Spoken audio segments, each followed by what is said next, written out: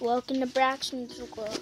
Today we are going to explore some new animals in the season two. This is our last day of season two.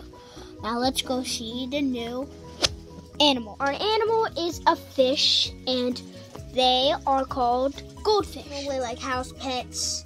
And these are house pets goldfish.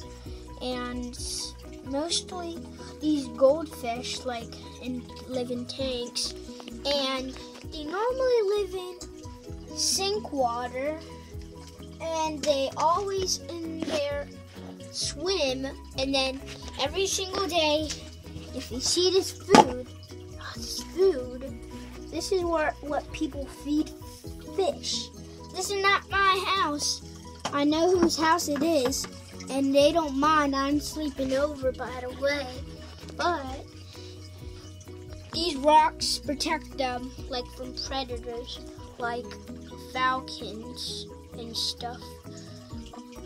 And uh, bald eagles probably because bald eagles eat you know fish and these are fish.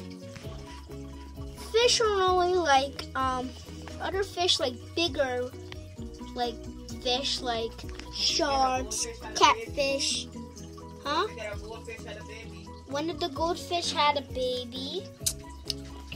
No, it's is it's one it's you see that little guy back there, he's a baby.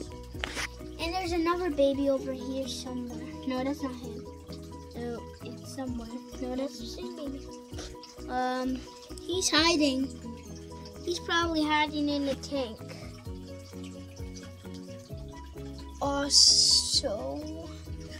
He, are they here? No. No fish, by the way, there. Huh, I have another baby. there he is. He's hiding down there. That's the other baby. So, goodbye, everyone. We'll see you on the next adventure. Be brave. Stay wild.